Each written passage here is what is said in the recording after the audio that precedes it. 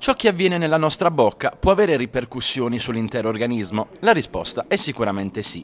Una teoria più volte confermata da medici e specialisti in virtù delle tante correlazioni che esistono tra malattie sistemiche e cavità orale. Di questo si è parlato ieri sera nel corso di un convegno ospitato a Trani presso la sala conferenze della Croce Bianca tra le associazioni più attive sul territorio nell'ambito dell'assistenza sociosanitaria e per quanto riguarda la prevenzione e la formazione. La Croce Bianca è un'associazione storica di Trani che nasce nel 1922, quindi potrebbe sembrare giovane perché è stata ristrutturata di recente e ha ripreso la sua attività tipica, quella sociosanitaria, quello di fare informazione, quindi incontri eh, con i quali intende eh, dare delle mh, mm, diciamo, indicazioni preventive no? a tutto quello che può essere uno stato di salute precario. Ecco, in questo caso abbiamo l'opportunità di eh, ehm, tenere presente qual è l'attività preventiva è nel curarsi la bocca. Ecco. Tema centrale dell'incontro, il nesso che spesso lega i disturbi della cavità orale, vale a dire infiammazioni o patologie paradontali,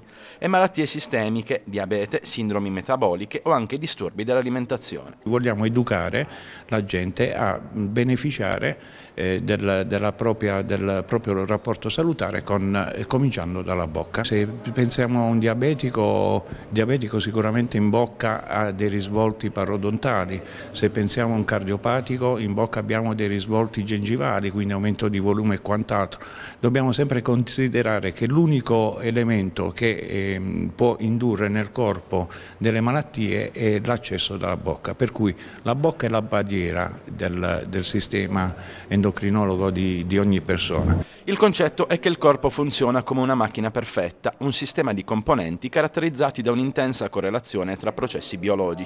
Le alterazioni di una qualsiasi delle sue parti possono avere un grave impatto su altre aree, un processo che avviene anche molto di frequente. Una manifestazione orale è molto frequente e infatti è molto importante che mm, diciamo sia il paziente ma soprattutto il medico eh, guardi in bocca perché eh, possiamo vedere dalla bocca situazioni come eh, malattie infettive, ma situazioni disimmunitarie, eh, sindromi particolari, soprattutto nei bambini e ci sono anche eh, problemi legati a carenze di vitamine, disturbi dell'alimentazione che sono riscontrabili in bocca.